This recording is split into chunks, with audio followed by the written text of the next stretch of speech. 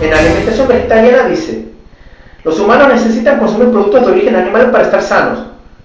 ¿Sí? No es una falacia. Como digo en mi video anterior, pregúntele a su nutricionista. Después dice, los humanos necesitan consumir productos de origen animal para estar fuertes. Y bueno, para estar fuerte necesita estar sano primero. Pero es cierto que las proteínas de carne ayudan bastante a la formación de los músculos y del cuerpo. Pero desde que el hombre ha empezado a consumir carne, ha empezado a, este, mejorar su postura, ha empezado a adquirir mayor tamaño, tanto los músculos como la estructura ósea,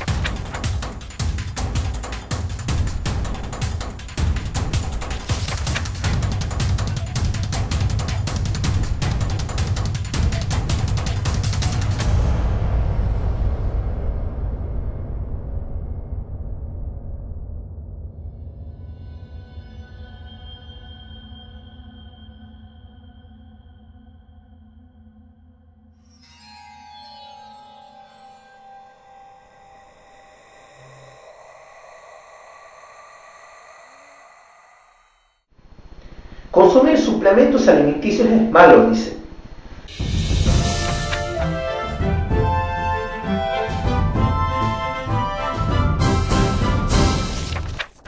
Dice, evolución, comer carne nos hizo ser más inteligentes. Demuestro lo contrario. Yo en mi video anterior no solamente he fundamentado con ciencia e historia, sino además he hecho la observación de que los seres que comen otros animales o sea, los omnívoros y además carnívoros, manifiestan una inteligencia superior a la del primer orden, a los vegetarianos. Y de hecho, digo, no se han dado cuenta de eso, ¿no? Y veo que no, porque si no figuraría aquí como una falacia. ¿Cuáles de las dos partes de consumidores para ustedes creen que posee mayor inteligencia? ¿Los consumidores de primer orden? ¿O poseen mayor, se manifiesta mayor inteligencia en los consumidores de segundo, tercero, cuarto y quinto orden?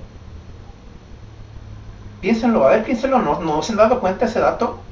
No, ¿no? ¿Qué van a decir ahora los consumidores segundo, tercer, cuarto y quinto orden?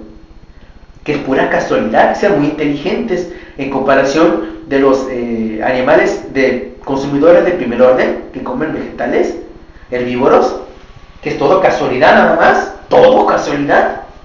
El pulpo, la inteligencia increíble que tiene el pulpo, casualidad. La inteligencia que tiene el Homo sapiens es casualidad. Ay, a ver, veamos. Dice, frases populares. Dice, debemos comer de todo. Eh, no. Yo diría más bien, debemos comer balanceado. Pues comer de todo, aquí como que, no, o sea, o sea, a ver, veneno no voy a comer, ¿entiendes?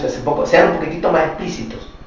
Pero debemos tener una alimentación balanceada, en la que incluye también carne, queso, leche, huevo, además verduras, ¿sí? Bueno, comer, dice, frases populares, comer carne humana es diferente que comer carne de animales. Y sí, cada animal posee distinto sabor.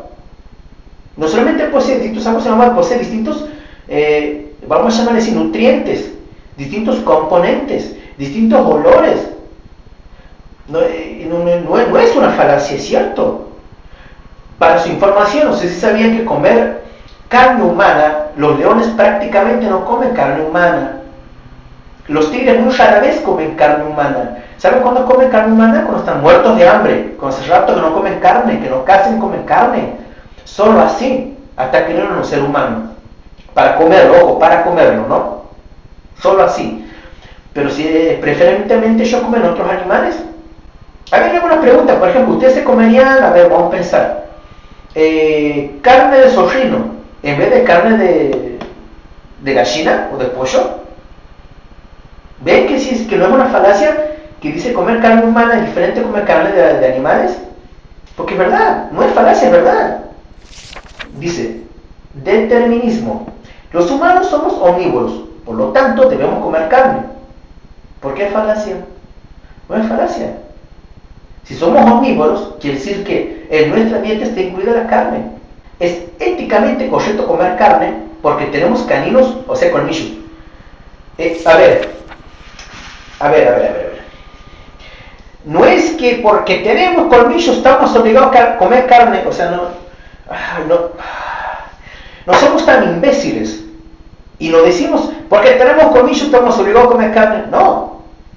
Es una falacia de, de las falacias de lo algo, respuestas veganas, montón. El caso es que los colmillos, nuestros colmillos, o sea, caninos, es una prueba de que sí somos omnívoros. La pregunta es aquí, ¿por qué tenemos caninos pequeños? Y bueno, papi, porque gracias a nuestra tecnología de alimentación mecánica, que son los cubiertos, ya no necesitamos desgarrar el cuero del animal, ya no necesitamos desgarrar pedazos de carne, como lo hacíamos hace muchísimos años atrás. Ya, ya usamos cubiertos, ya no necesitamos. Pero miren qué dato importante, sin embargo todavía lo tenemos. Y además tenemos las muelas que trituran la carne, que están específicamente muy bien hechas para triturar la carne. No solamente vegetales, sino además carne, que necesita muchas veces ser masticada antes de ser tragada para evitar gastritis y acideces. Eh, dice, debemos alimentarnos obedeciendo lo que dice la cadena alimentaria. A ver, primero no es cadena alimentaria, sino redes tróficas. Pero como este concepto más conocido como cadena alimenticia, o alimentaria, vamos a hablarlo, a ver. No es que las cadenas es una ley que nosotros tenemos que obedecer como una ley. No, no es así. Es que nosotros somos así, por lo tanto es ley. Aquí un jueguito de antecedente consecuente. Hay un jueguito de palabra aquí, que hay que tener mucho cuidado. Reitero, no es que nosotros, dice la cadena alimenticia en los libros, dice que es así. Entonces nosotros estamos obligados a cumplirlo a la fuerza, queramos o no queramos. No, no es así.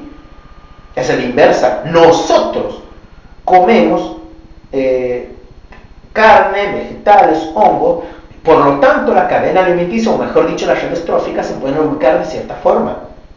Es así.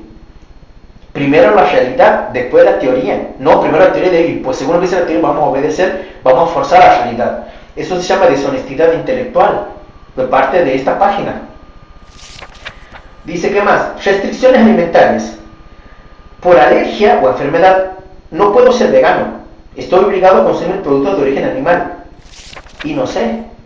No sé porque la alimentación de vegetariana y también de fungis, o sea, hongos u otras, no sé qué más comerán ellos. Que, y depende. Depende de qué lo que consuman. Y en qué proporciones. Lo que sí le voy a decir es que, a ver, lo voy a decir, es que mi hermana, por ejemplo, una vez estuvo mucho tiempo sin comer carne comía ensaladas, comía ensaladas, quería bajar de peso y lo estaba logrando. Comía fruta, comía ensaladas, comía fruta, comía ensaladas, tomaba mate amargo sin azúcar, pero más este, frutas y ensaladas. ¿Qué pasó? ¿Qué pasó? Cayó en desnutrición, se sentía débil, perdía equilibrio, se sentía mareada, confesó que se le bajaba la presión. Urgente se fue al médico. Un médico clínico automáticamente la mandó a un nutricionista que el nutricionista le recetó huevo, carne, mermelada, bife a la plancha, ¿sí? una alimentación balanceada. Ahora, que, qué curioso este, este triángulo de alimentación que figura, que dice alimentación vegetariana estricta, y aparece todos todo estos eh, productos de, no animales, ¿no? Y yo le hago una pregunta, porque aparecen muchos tipos de vegetales en su nutrición vegetariana estricta, porque son diferentes vegetales y plantas. Por eso este, creen que es balanceado. Para pensar, ¿no? Dice, ¿qué más? De supervivencia. Si tu supervivencia dependiera de ello, asesinarías a quien fuera. ¿Qué mentira? Si tu supervivencia dependiera de ello, asesinarías a quien fuera. Y sí, porque si no lo haces, aquí mismo en la misma afirmación te está diciendo, si no lo haces, eh, chao supervivencia. Moriste. No es una falacia, es una realidad.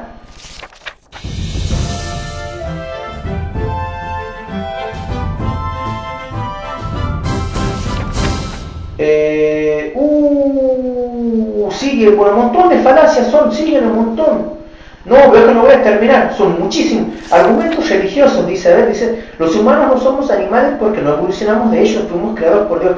Bueno, esas son burradas ya, pero no, no son falacias novedades, son falacias religiosas ya. ¿Sí?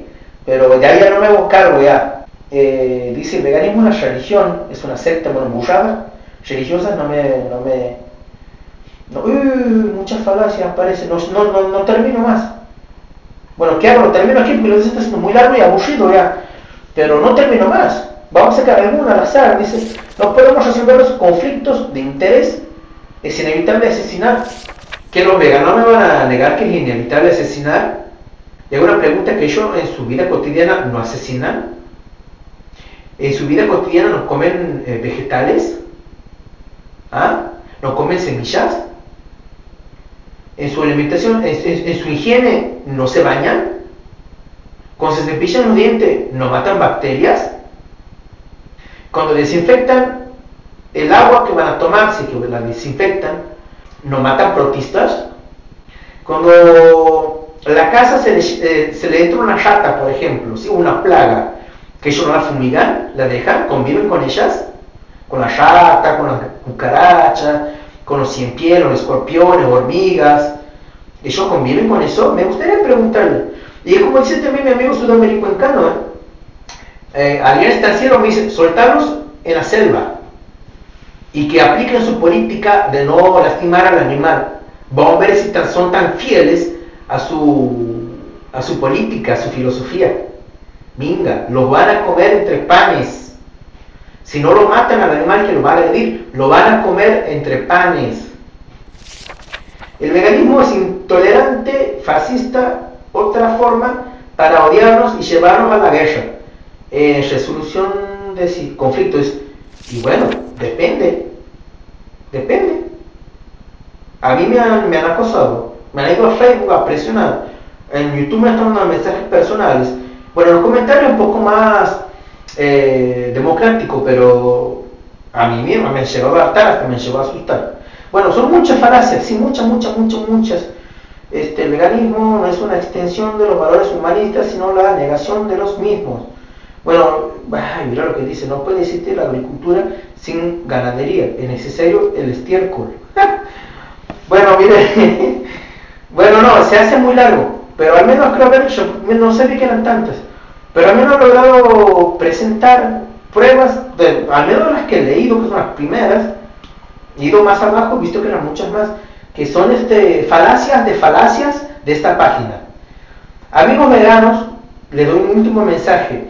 Ustedes son completamente libres y poseen todos los derechos de no comer carne si así lo desean, pero están en todos sus derechos y además como he dicho en mi video anterior, los admiro por el gran sacrificio que hacen ustedes para que otro animal no muera o no sufra. Pero mm, les doy un consejo, no vayan a esta página porque está repleta, está plagada de falacias en las que tratan de ensuciar eh, la, la mentalidad, la formación, la inteligencia de nosotros las personas no veganas. Sigan con su política si así lo quieren, pero no les recomiendo esta página. Pues miren todas las falacias de falacias que presenta. Un abrazo, amigos veganos, los videos.